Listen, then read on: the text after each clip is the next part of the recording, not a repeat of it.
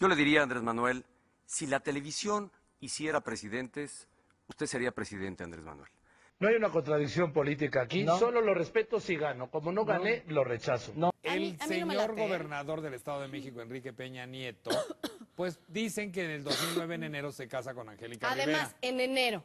A ver, Andrés Manuel, a mí yo veo, has descalificado los conteos rápidos, los medios, el PREP, el proceso, el resultado, los consejeros del IFE, las llamadas de los mandatarios, a Fox, claro que es un traidor, dijiste, a Calderón, por supuesto que es un pelele.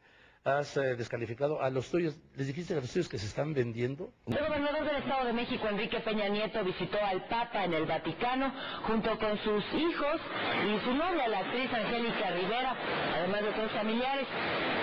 ¿Cómo, cómo se, con qué autoridad moral nos dice usted, nos dice el PRD que nos va a defender a los mexicanos de los presuntos saqueadores?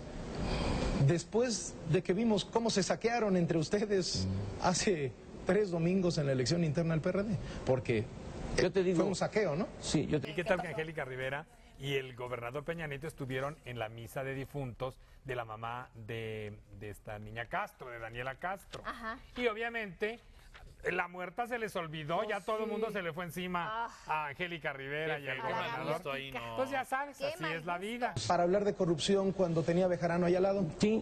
Y me da muchísimo gusto recibir aquí a Enrique Peña Nieto, el galán de galanes, que además, este, bueno, ¿qué te puedo decir, Enrique? Todo el mundo, bueno, Chío casi muere cuando te casaste, creo que hubo varias infartadas.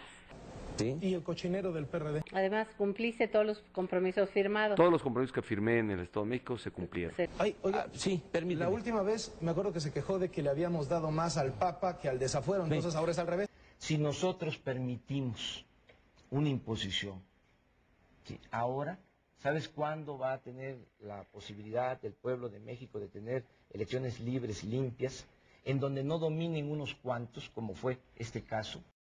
Y aún hay más, amigos.